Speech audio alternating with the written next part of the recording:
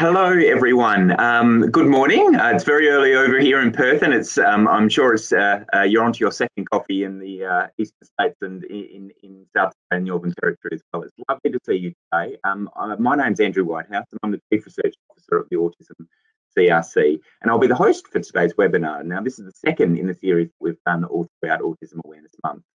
Now, um, our Autism Month uh, webinars throughout April share some of our latest research outcomes across early years, school years, adulthood.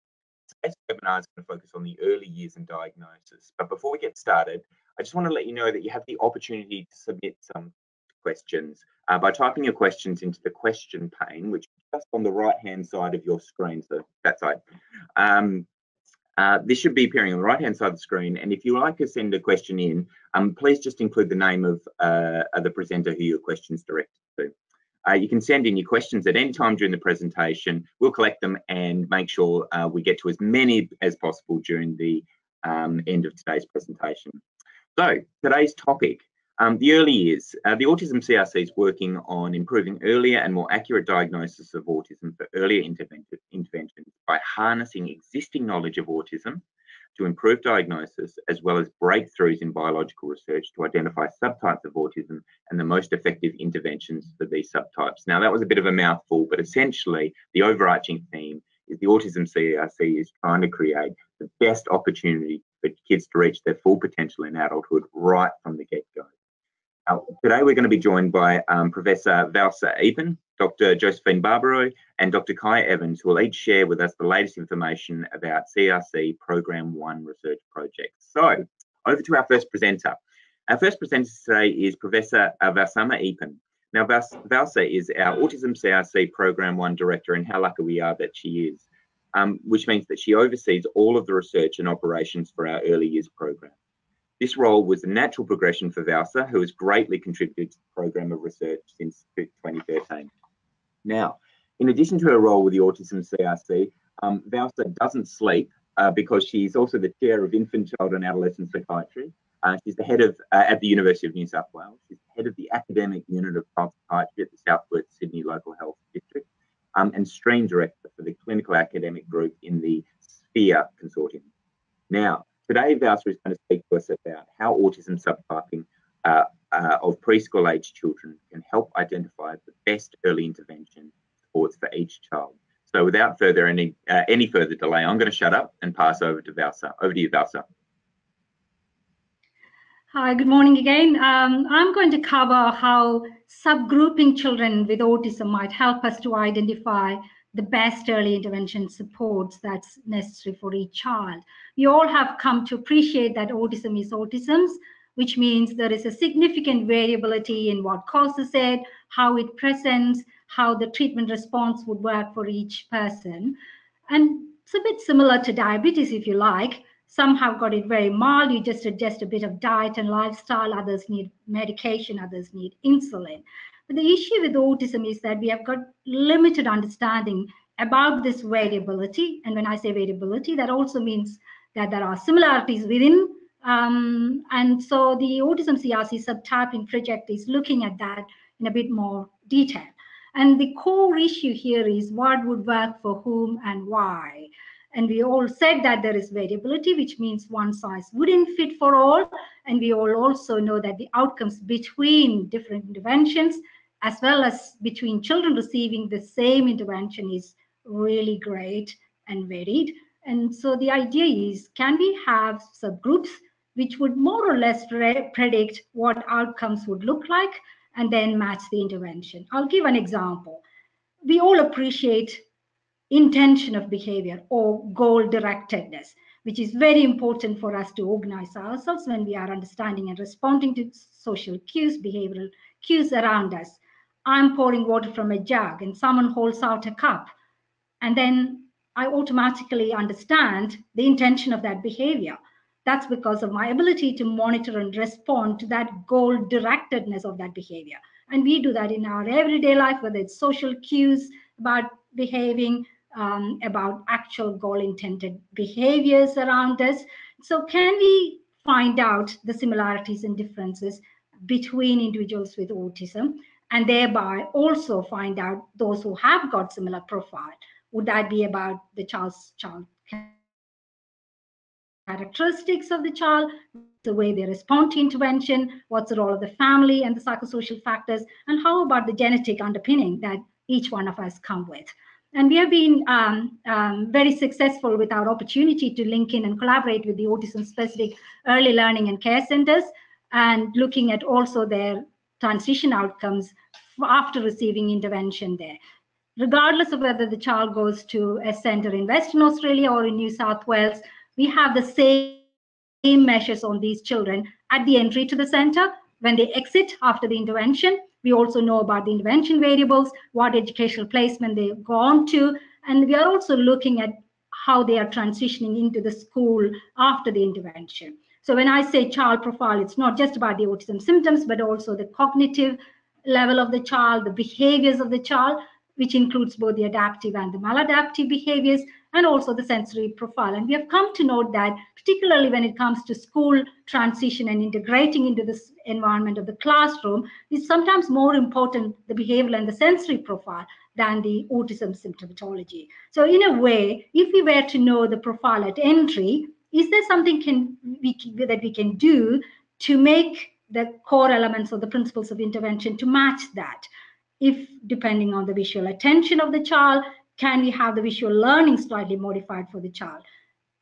Again, joint attention is very important.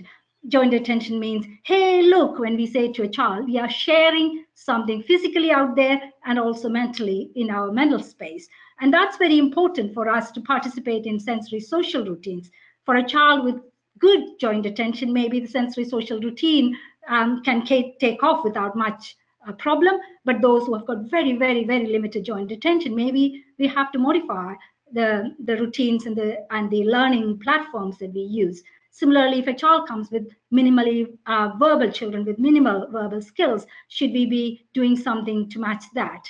So earlier on, um, we looked at the preliminary data set and we were looking at, yes, all children would um, make progress when they are provided the early intensive intervention, but can we tell for whom and why? And we found for what we found was that those children with higher social affect and play skills seem to, to kind of respond better. And those with greater initial social impairments seem to be making less progress. And so we started asking the question, those with greater social affect um, versus those with minimal social affect, should we be changing the dose? Should we be modifying the intervention? And so on and so forth.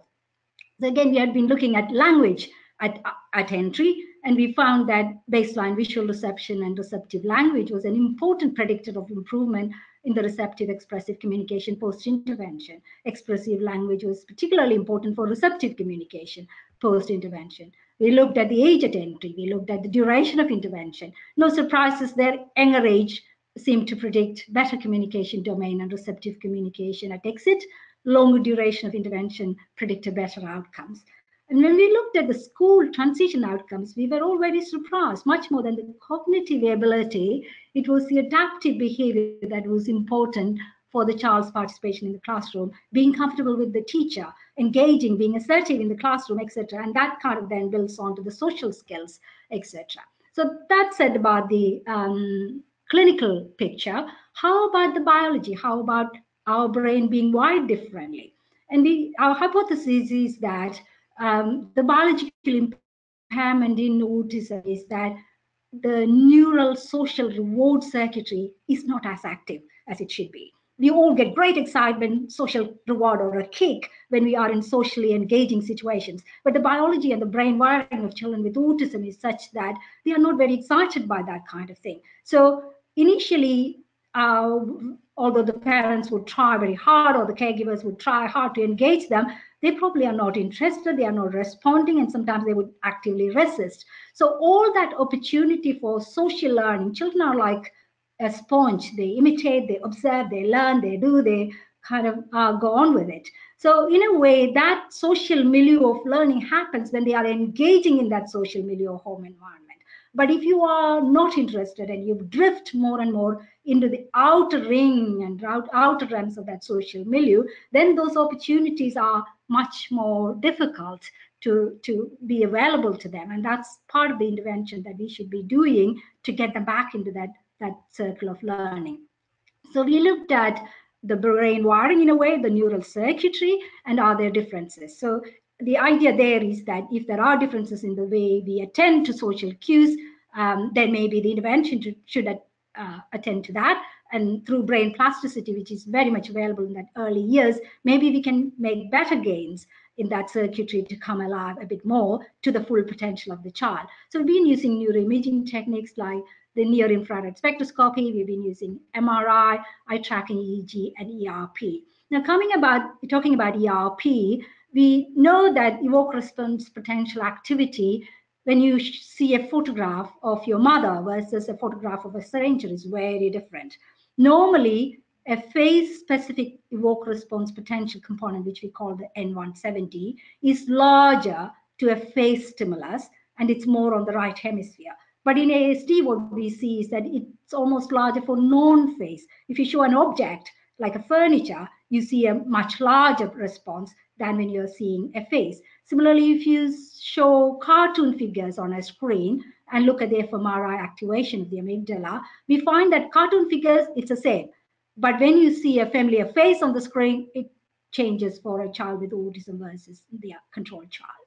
So how does our brain respond when presented with a social versus a non-social stimuli was how we tried to understand the brain circuitry. So this is an example of a social stimulus. So this is the wheels on the bus go round and round nursery rhyme being sung in a very emotive way, a lot of gesturing, a lot of facial expression. And here is a spinning object toy. Normally what you would see is that the red, the dark red, is showing the greater activity. And you're seeing it on the lower part of the temporal cortex, and that's when presented with a social stimuli. That's uh, the typical adult control. But on the right, you see that typically the anterior regions would show greater activity when they are seeing the um, visual social stimuli as opposed to the object-oriented one. And similarly, when you look at faces, the red is when you are um, seeing a familiar face and recognizing the face. It's a fusiform face area that red is uh, indicating, whereas the blue is indicating non-face like an object that was presented. You see the red is totally missing in the ASD while the blue is perfectly fine. It's similar in both settings. Again, the way we respond to social stimuli, non-social stimuli, the functioning of the brain was the basis of those projects. Similarly, we looked at the structure and we found eight brain regions to be showing group differences between uh, individuals with ASD, and we subgrouped them into three. The first one had large brain regions in the frontal lobe, smaller brain region in the temporal parietal area. The temporal parietal area is the one that I earlier alluded to as the social stimuli response region. So we find that when you have got a, a, a larger frontal lobe, you've got higher nonverbal skills, but the smaller region of the temporal parietal meant they had lower social skills. And another group had across the board smaller brain region, which meant they uh, clinically showed lower nonverbal and social scores. Whereas group three had, on the whole, compared to controls, large brain regions, and they were much higher in their nonverbal and social scores clinically. So moving on now then from clinical to neurocognitive, now to genetic profile, just like clinically autism is heterogeneous, genetically also it is heterogeneous.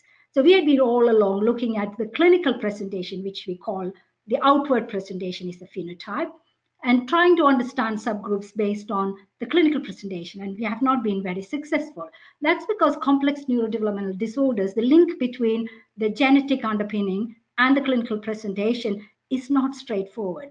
I'll show that using this example. If you look at the first box, gene one leading to a particular clinical phenotype phenylketonuria is an example. It's a single gene disorder. It relates to a particular clinical presentation. But in the second box, you've got gene 2, 3, and 4 resulting in the same clinical presentation. For example, Fragile X syndrome, Rett syndrome, tuberous sclerosis. All that can result in autism-like clinical picture. In the last box, the, the one on the right, the same gene resulting in clinical phenotypes, because we now know that the same gene had been attributed and implicated in ADHD, in autism, and a number of other conditions. So we said, okay, what, what do we do here? So now we are trying to do things uh, worldwide, internationally, a reverse strategy. It's called the genotype first approach. So you've got a whole lot of people in that first box, as you see, um, we get a cohort of people with autism. You get the clinical picture, you look at their genetic profile. And then when looking at the genetic profile, we found that the light uh, blue shared people, four of them, for argument's sake, had a particular gene abnormality on the cadherin gene. So you go back and then look at those four people and say, what are the clinical features for that for them, for that subgroup? And lo and behold, what you find is, in addition to autism symptoms, they have got big head, which is macrocephaly, very specific facial features, and also gastrointestinal complaints. So you've got a subgroup there. But having said that, biology is not destiny. Biology is an important starting point on which you build our blocks and, and the brain development goes that way. But there is a significant important element that's important for brain to grow and develop just because you come with the potential, you don't realize the full potential. So the intervention is very key. It's those learning opportunities that's going to determine the outcome for each child. Because the activities that children engage in across their daily life is either building a more social communicative brain or a more object oriented brain. And early intensive intervention can alter the developmental trajectory to be more socially acumen to be developing. So in conclusion, understanding the clinical and genetic heterogeneity or variability can be a very critical first step in our tailoring of intervention to subgroups. And in addition to providing potential explanations to the family about why a child may not be responding in a particular way, it can also help us to assess better, uh, improved understanding of what really is going on behind the scenes and then the tail the management. So every individual on the, the spectrum has the right to optimum management. And we hope that the identification of homogeneous subgroups will provide a better understanding as to which treatment would work for whom and why, which in turn would significantly improve the outcomes, resulting in personal, social, and economic benefits.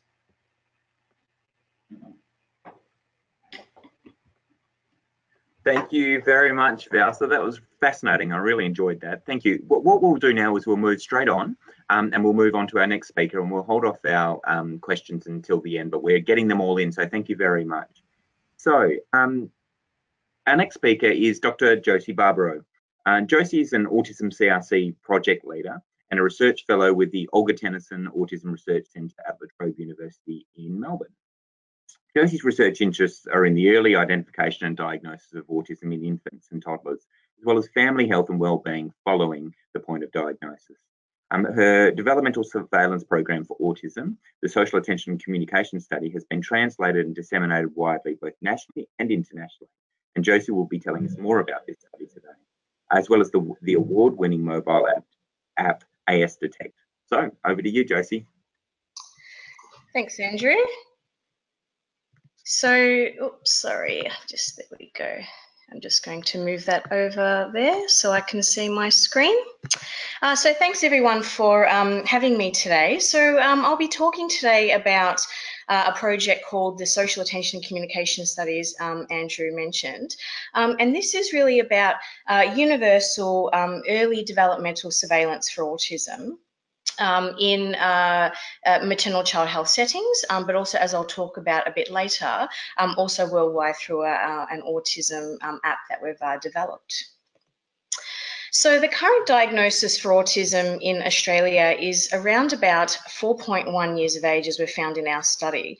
I mean, if you have a look um, at this uh, map here, you'll see that there is variability across each of the states for uh, diagnosis, uh, with the Northern Territory having the highest uh, mean age at 53 months, which really means that they are lagging behind in terms of identifying their children at the earliest possible opportunity. So we really need to work um, towards being able to identify children much earlier than this because we know that we can identify um, and diagnose children um, by 18 to 24 months of age. And as uh, Valsa uh, touched on, uh, early detection and diagnosis really does maximise children's developmental outcomes and also their learning opportunities. And also show you some data a bit later um, on um, our children that we have uh, monitored and their outcomes later on. So the social attention and communication study has been running for a number of years now. I've actually grown quite old with this study. So it started with my PhD and we've brought, uh, brought a, a, revised version uh, into the Autism CRC uh, along with uh, my colleagues Lael Ridgway um, and Cheryl Dissanayake at, at OTARC. And so what the SACS involves is um, the methodology is based on the original SACS study. So if you'd like to read about it, it is published in uh, peer-reviewed literature, um, uh, and you can uh, email me if you can't access that literature. Um, and so what we've done in this study is we have uh, trained maternal and child health nurses in eight local councils in Melbourne um, on early social communication milestones, and I'll go through what those are in a minute. Um, and the training was um, three and a half hours uh, in duration, um, and videos, we showed videos comparing children with and without autism, um, and we trained nurses um, on how to uh, enter this uh, information into an online database into Salesforce. Uh, children were monitored um, at their 12, 18 and 24 month consultations and then followed up at 42 months. Um, and children who are at high likelihood for autism um, at either their 12, 18 or 24 month consultations were uh, sent to us uh, at the SACS team for referral. I'm just going to move that down there. There we go. Um, and so uh, children, uh, we assess children uh, every six months until they were two um, for a gold standard diagnostic assessment involving um, diagnostic tools such as the ADOS and the ADI. Um, and we followed up these children at 42 months of age to confirm their diagnosis and to track their developmental progress as well. So these are the items that we train nurses to look for, or the behaviours to look for at each of these ages. So if we look at 12 months, for example, you can see here that we uh, train nurses to look to see whether or not children can engage in pointing to share things, um, in, in eye contact, um, in uh, consistently responding to their name, um, in copying others' actions, so imitation, uh, in using gestures such as waving, and also other items such as smiling when other people smile at them, use of joint attention, so when someone points or looks to something, does that child follow their point or their gaze, and also in the use and understanding of language. But you'll notice that some of these uh, items here are in green and some are in blue. So the ones that are in green are what we consider key items, and these are behaviours that differentiate children who go on to have autism to children who go on to have other developmental conditions such as developmental or language delay. So if a child is not able to engage in three of the of five of these uh, uh, behaviours, then they are considered at high likelihood for autism. And this is based on the results of our first study. So the results for, for the SACS are so far is that we've monitored over 14,000 children within our maternal child health system between one and two years of age. 323 of these children have been found at high likelihood for autism and 234 have been assessed. 89 uh, parents declined um, participation in the study, but we are consistently and continually trying to follow up these parents either via phone or through the maternal child health nurse because um, some of them may not have come in, but they're happy for us to contact them to, uh, to find out what the, the outcome of their child was. So of the 234 children assessed, 192 children ended up with a diagnosis of autism. Um, of the children that declined, we estimated that 74 of these uh, children would have ended up with a diagnosis of autism based on our uh, on our study. Um, and we also found that 61 children were not identified between one and two, but they were identified by 42 months of age.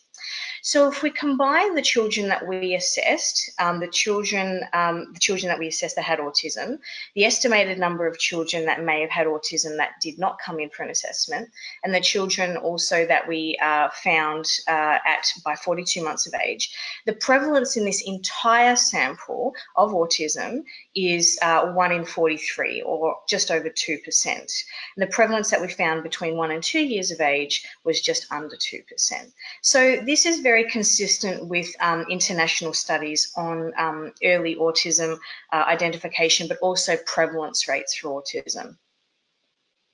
So just looking at the breakdown of children assessed here. So if you can see here, this yellow line here, um, this uh, is what we call the positive predictive value or the accuracy of um, our method for identifying children with autism. So the overall accuracy or the positive predictive value is 82%, which is really fantastic because the next best tool that's in use in community-based samples to identify autism is called the MCHAT the modified checklist for autism in toddlers, and its positive predictive value in community-based samples is at best 13% uh, that we've found. So um, it really is outperforming any other screening tool that's available. And even when we look at results at 12 months of age, 72% of children identified at 12 months at high likelihood for autism go on to have a diagnosis. So it's very, very um, accurate. Um, I, I, know that many of our listeners would be interested in uh, the uh, gender um, uh, differences between the amount of boys and girls who go on to have autism. So you'll notice here that at 12 months of age, we are identifying many, many more boys than we are girls. So the ratio is one um, girl for every 6.7 uh, boys. But as you can see, as we go to 18 and 24 months of age, we are doing better in identifying more girls. So it goes, um, the ratio is then 1 to 3.8 and then 1 to 3.4. So the overall ratio we're finding in our study is 1 um, 1 to 4. So this is consistent with um, other studies, um, but we know that we may still be missing um, girls in this age range. And I am looking at this um, through some research, looking at uh, if we are missing some of these girls early on. I was also interested in um, of the boys and of the girls who were referred to us who were at high likelihood for autism, how many of them actually ended up with a diagnosis of autism? So you'll see that at 24 months of age, boys and girls were equally as likely to receive a diagnosis of autism, so 85%. But you'll see here at 18 months, 64% of um, females went on to, to have a diagnosis, whereas 88% of males went on to have a diagnosis. So there is a, difference there. Um, but overall, of all the children who come in, of the females who come in, 74% end up with a diagnosis and 84% of males end up with a diagnosis. So it is something to still unpack. We haven't done any analyses there, but I just wanted to show you um, what is happening in terms of uh, boys and girls who are being referred to our study. So overall, we've found that uh, developmental surveillance uh, using the SACS um, is the most effective method for the early identification of autism uh, to date that we've found. There have been no other studies that have been able to have uh, as high a positive predictive value as the SACS. Um, it has excellent psychometric properties. And the reason for this is because of our use of developmental surveillance. So we really do advocate for the use of professional observations repeatedly across time, whether that's nurses or GPs or other allied health professionals. Um, we really do need to be monitoring children across time using professional observations in, in combination with parental report. But if we're only using parental questionnaires at one time point, we are going to miss many of these children because that's what many of these uh, screening tools uh, that don't have very high positive predictive value are using. So the overall purpose or the overall aim of this study is really to, to provide the vital next step for facilitating long-term outcomes for these children. So the long-term outcomes that we've found um, in children that were identified in our first SACS study back in 2006, we followed them up all the way up to seven to nine years of age. And we looked at their cognitive um, abilities as well as other things as well. But we did found massive improvements in um, cognitive abilities. So at 24 months, 64% of children had an intellectual developmental delay or intellectual disability. Um, and this decreased to eight months by seven to nine years of age. So we followed up these children, and only 8% of our children with autism had an intellectual disability, and the sample had an average IQ um, of uh, 103 uh, nearly 104. So that is within the, the average limits of an I, of IQ. So that's really fantastic because we do want to try and minimize the disability that can be associated with autism. Um, and if you uh, are able to minimize uh, cognitive impairments, then you can maximize the ability for people on the spectrum to live independent lives and to live um, uh, to, to the fullest of their potential. Um, when we compared our children um, who were diagnosed early at two years of age to those who were diagnosed later, between three to five years of age. So this is a control group of children that we recruited. When we compared these two groups, we found that um, there were a number of differences. So in terms of school placement, 77% of children diagnosed early in our study attended mainstream school in comparison to only 58% of children who were diagnosed later. In terms of ongoing support, 60% of children diagnosed early are receiving ongoing support in comparison to 90% of children diagnosed later. So children in the SACS cohort were diagnosed significantly earlier than control, so 18 months earlier. They began intervention at a significantly younger age, so 12 months earlier, and they received significantly more early intervention than children in the control group, 11 months earlier. Sorry, 11 months more early intervention. So um, those are the results of uh, the SACS study. Um, and what we wanted to do was really make these results or this, um, this uh, evidence available to people right around the world. And that's why we developed an app called ASDetect. Now, this is a parent-led mobile application for education and early detection of autism. And what it does is it uses the SACS items and video-led education and it bridges the gap between the need for effective early autism identification and the limitations of service provision. And this is even true in developing countries because by 2020, there'll be 6 billion smartphone users worldwide, and 80% of these users will be from the developing world. So there really is enormous scope for the use of ASDetect in these countries. So the way that it works is that the SACS behaviours are monitored at 12, 18 and 24 months of age. Um, it contains short videos and verbal descriptions of behaviours observed, followed by a question and activity. And there's an automatic calculation of children's likelihood for autism, so whether it's high or low likelihood.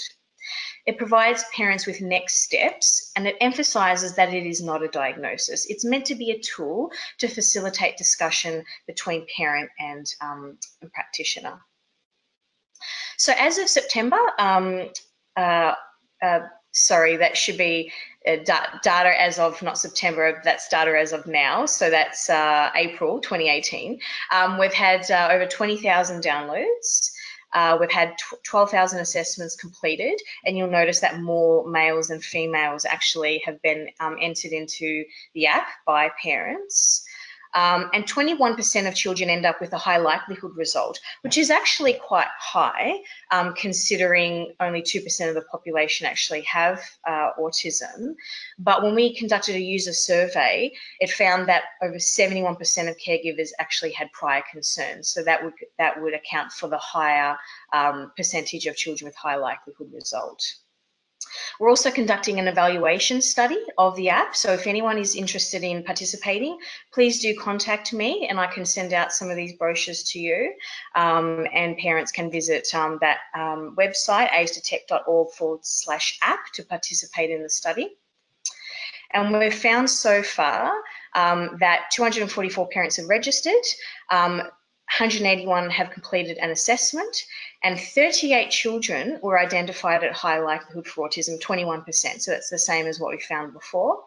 And importantly, 15 of the 17 children assessed, so 88%, met criteria for autism following a gold standard assessment. So ASDetect is doing really, really well in accurately identifying children uh, on the spectrum. And the other ch two children had other developmental conditions.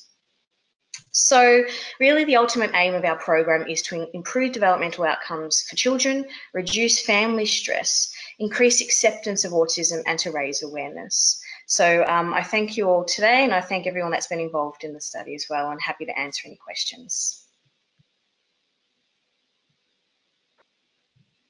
Fabulous. Thank you, Josie. That was terrific. Um, and just a reminder to please do send through questions. We're getting them through now, which is terrific, and we always love to see more. So thank you, Josie.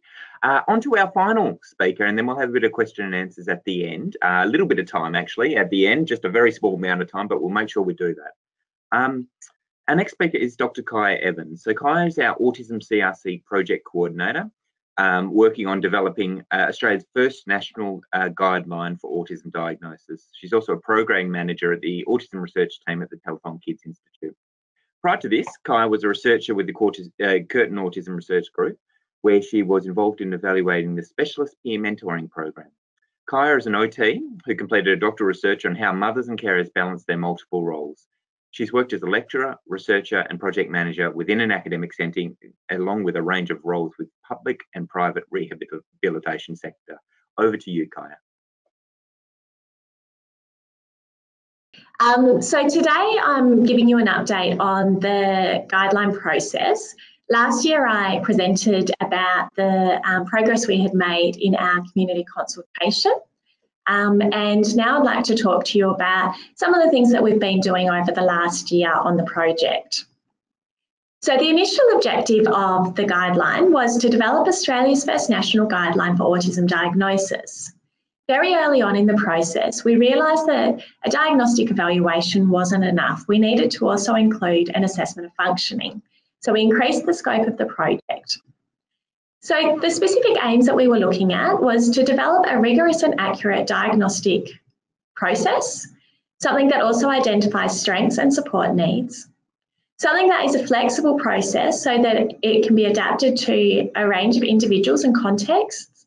It needed to be feasible and practical to administer, and it needed to be acceptable to individuals undergoing assessment and their families, clinicians, and also the government and private systems that support. So in terms of the guideline development process, um, we've taken a very compre comprehensive approach. Last year I spoke um, in quite a bit of detail about the processes we took to collect evidence. This has involved a range of systematic literature reviews, looking at both the published peer-reviewed articles, but also looking at existing clinical guidelines throughout the English-speaking world. In terms of community consultation, many of you listening may have been involved with one of our surveys or workshops. We held workshops in um, all of the capital cities um, across Australia. We also had a range of online surveys and interview options for people to be involved with. The next process was putting together a draft guideline in consultation with our steering committee, and that went out for public consultation and feedback last September. We received over 150 submissions from individuals and organisations, and that started an intensive period of revising the guideline, sending that out to, to a select group of key stakeholders, primarily our steering group, revising again in response to the feedback.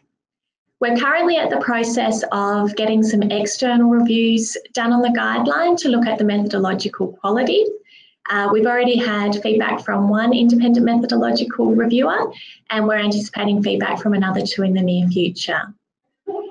At the end of this month, we'll be submitting the guideline to the NHMRC as part of their guideline approval process. During that process, not only will the guideline be reviewed by the NHMRC Council, but it will also be reviewed by a series of international and Australian experts in autism. Following that, um, we will make any changes recommended through that process.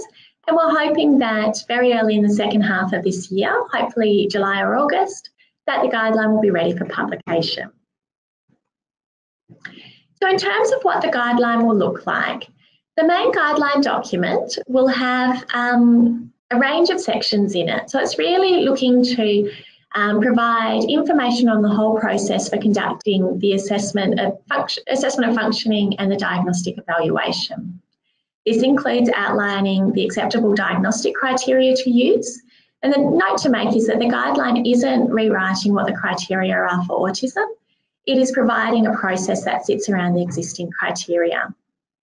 There are six principles um, to guide people when undertaking these assessments. And these include being individually and um, family focused, focusing on the strengths, being holistic and looking at the whole picture, taking a lifespan perspective, ensuring that we're basing the process on evidence, and also recognising um, that there's a need for equity for different people and there's not a one size fits all solution. The guideline also outlines the process, in particular that it needs to be a coordinated process and that it needs to exist of a comprehensive needs assessment and a diagnostic evaluation.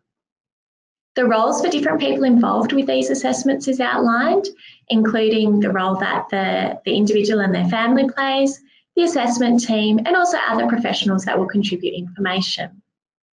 A range of settings are described, including clinical, community, and telehealth settings, then there is a section at the end of the guideline that talks about a range of important considerations um, or different ways that the process may need to be adapted or tailored to individuals. This includes, um, based on age, intellectual and communication ability, gender, their location, whether they're in a regional or remote location, culturally and linguistically diverse populations, people with complex psychosocial needs, and also a section on differential and co-occurring diagnosis.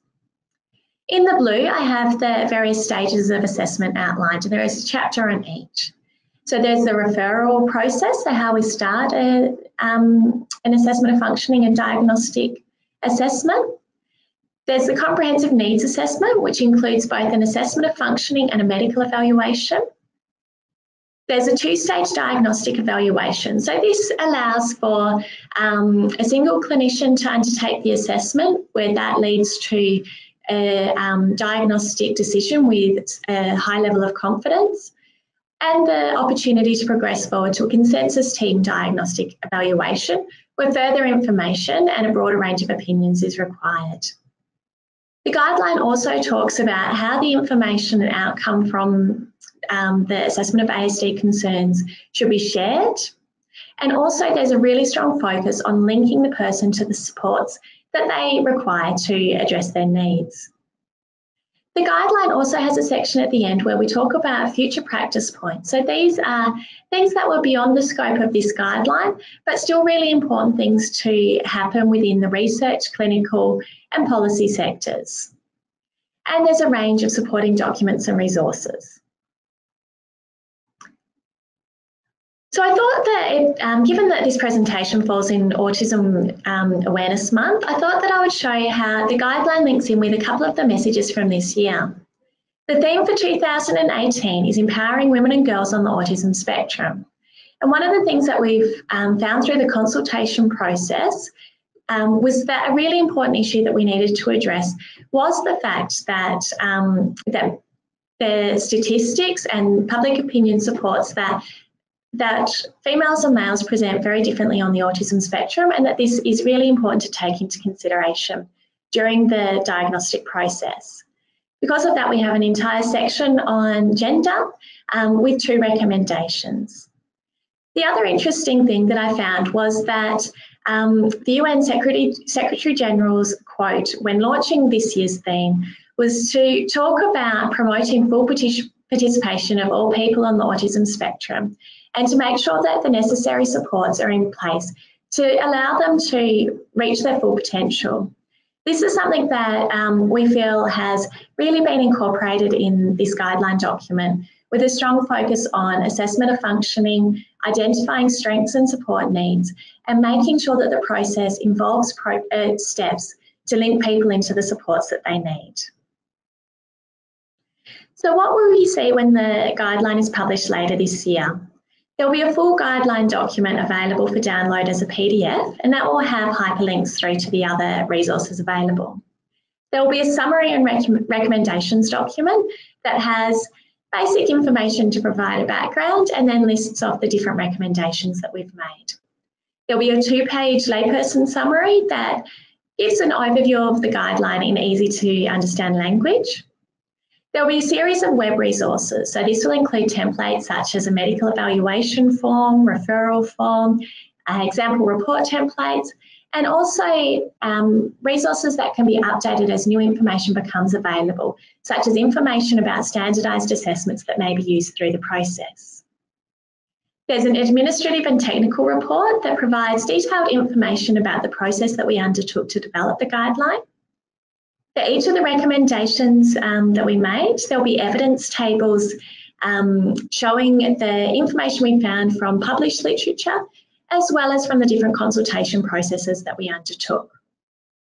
There's quite a large document where we outline every single submission we received on the draft guideline and the changes that we made. And as they are published, all of the journal articles and conference abstracts will be added to the webpage so that you can read up in more detail about the various processes that we took.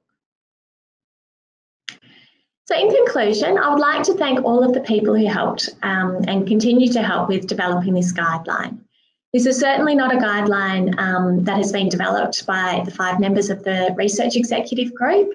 This is something where the valuable contributions of individuals with lived experience of autism, from professionals involved in the assessment diagnostic processes, our steering committee representing a wide range of um, national peak body organisations, the external reviewers who have provided input, and the broader project team that included research assistants, students, supervisors, um, postdocs, volunteers, methodological experts, administrative support, a whole range of people.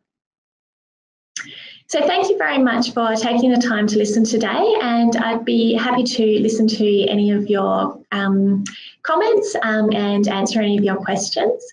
I've got my contact details there. In the coming days, we'll be adding a, um, a landing page for the guideline to the Autism CRC website. We'll have an opportunity for you to register your interest in receiving an update when the guideline is published, um, and then that is where the resources will be added as time progresses. Thank you very much. That was fabulous. Thank you so much, Kiah. Um, could I ask um, Valsa and Josie to pop up again? Um, we're going to have enough time for uh, two questions. Uh, um, the first one uh, is to Josie. So, um, uh, Josie, a couple of questions here, and I'll roll them into the same question. So, same fa some families have been told they can't have a child assessed until they're older than two years of age. Um, is this true, number one? And secondly, how can we get others to recognise autism uh, in children in the the early years, uh, given there might be some resistance to that. Yeah. So uh, thank you for your questions. And this is really a hangover from our previous diagnostic manuals where uh, autism, the, the diagnostic criteria that were used um, were based on uh, a group of three-year-olds. And so it was typically thought then that you couldn't diagnose children under the age of three. And in, in fact, some uh, are saying that you can't diagnose until five. So there has been lots and lots of research since the early 90s showing what these early signs of autism are, which is what we've been using in our um, studies, um, and following up these children to see, okay, can we predict if a child presents with this profile, can we predict if they'll have autism or not? And that's what we do in our studies as well. So you certainly can, with someone that has experience in this age group, you can diagnose by two years of age. Um, and certainly I've been working in this uh, field for a long time and can be diagnosing children um, as early as 18 months, but not all children, but those that do present.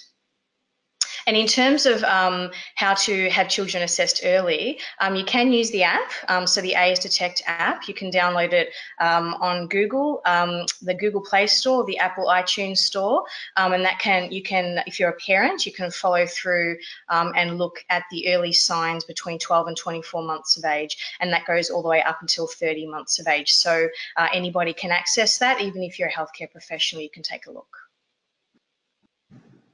Um, the um, this one's directed to Kiah. Um, Kiah, um, uh, this is a uh, a, an elephant in the room question. Why in the world is each state different um, in the way that they diagnose autism? Okay, um, so I think that that um, historically falls out of the way that um, the healthcare system is set up in Australia, in that it's very much set up as um, as individual states managing their health systems. So, um, yeah, I, I, think that um, each state has undertaken a pro state and territory has undertaken a process that works within their context. Um, and until you know, without the um, the centralised process to push this agenda further to do something nationally, um, perhaps everybody's just been coping with you know, getting through the workload and, and, managing what they can do as best as they can. Um, and it's only through this national initiative um, funded by the federal government and administered through the Autism CRC that has those collaborations that it's it's made it possible to move beyond um, everyday practice and and look at a new way of doing things. Yeah, and yeah, that's something we have support for. Yeah, and and look, just to extend that, and I might throw to Valsa as well. Look, it, it, for, from my perspective, it goes back to you know the the founding of Australia, where we were a whole bunch of uh, essentially different colonies that were brought together uh, in a constitution in 1901, and um, in that constitution there are certain things that remain the state's remit, and health, um, so diagnosis typically falls under health, um, uh, remains a state-based issue, and the way that um, uh, different systems work is that unfortunately over time things don't converge on the same thing. They tend to di diverge. Um, and that's the, sort of place that we've got to um, in Australia. Um, so uh, and and this is one of the great promises of the National Disability Insurance Scheme is to bring all of the uh, different disability systems which of course the state run as well into the same um, uh, uh, system and, and, the same processes, which uh, is, of course, a huge uh, uh, promise, um, and we certainly hope it will be delivered. Um, um, did you want to have anything to add on to that one at all? I would also say that um, through these initiatives, uh, we are going a bit into convergence through national programs, one being the National Disability Insurance Scheme, uh, no matter which state does what, they all kind of converge into one thing where the principles are the same. Similarly, I'm being hopeful here that um, if we can get our next project through the Autism CRC in taking the surveillance into the GP world, that again is a national framework. So every child has access to a GP, every family has access to a GP. That's one common denominator. And I think if we can be creative in finding pathways through that system, then we might be able to make some real changes there as well. Yeah, terrific. Thanks, Valsa. Um, look, we do, we also do have other questions, but I'm afraid we're at time, and I'm I'm quite concerned that uh, everybody uh, has busy lives and will need to um, uh, go and live them. Can I just say thank you to our presenters? Um, all all three um, provided a really quick snapshot, but it was really informative. I was I was hooked the whole way through. Um, thank you also to you for viewing. I see the numbers that are viewing um, online and that we've got some really good numbers of people viewing here this, uh, today, so we really do appreciate it. Um, please do um, uh, realise that this is going to be up on the website, um, on the Autism CRC website in the coming days. Uh, so uh, please do tune up there and, and refer it on to anyone who you think might get some value out of it. Um, the next uh, webinar will be focused on adulthood, and it's at the same time tomorrow, apparently. So I will see you there um, if you would uh, like to tune in. So once again, thank you to everyone for tuning in. Thanks to our um, presenters, and have a great day, everyone.